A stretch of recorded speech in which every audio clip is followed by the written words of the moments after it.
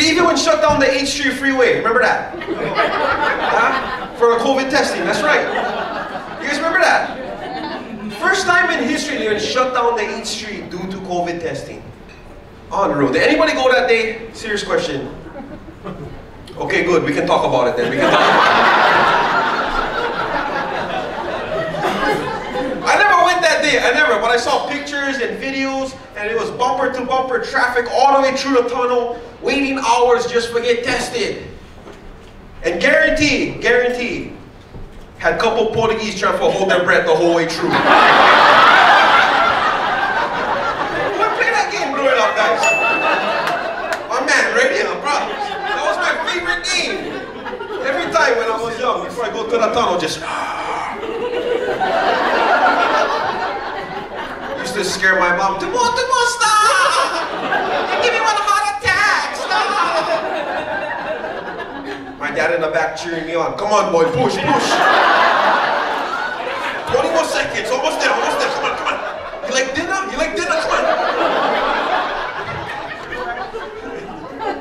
But hey, can you guys imagine if that actually happened when true Portuguese during the COVID testing at the H3 would hold his breath, pass out, get into an accident, cause a big scene, huh? Guarantee you'll be all over the news, huge headlines. 42 year old male, Bernard Silva, mysteriously passes out while waiting to take COVID tests. Hey, they interview Bernard on the scene. Yeah? Bernard, tell us exactly what had happened. And Bernard is the type of guy who gotta keep moving to keep talking. Yeah? So he's like, so um,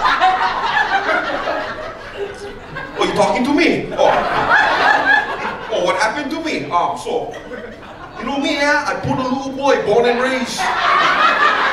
So I practically grew up on this tunnel, for real, for real. I was the king at holding my breath. I was the king at king intermediate. So today, I come up to the tunnel, and things they small kind backed up, because COVID, huh? But you know me, I love challenges. I love them, I love them. So I looked to my wife, I was like, honey, I should chance them or what? And she's like, I don't care, go. So I chance them, hold my breath. Next thing you know, I pass out. Wake up in the ambulance. And the funny thing is that I never even take the COVID test. But they're telling me you gotta quarantine 14 days. Bro, whose idea was to do the COVID test on the H3? All of us. Who? Caldwell. Caldwell? The man. And Ige, bro. Ige too, man. We're gonna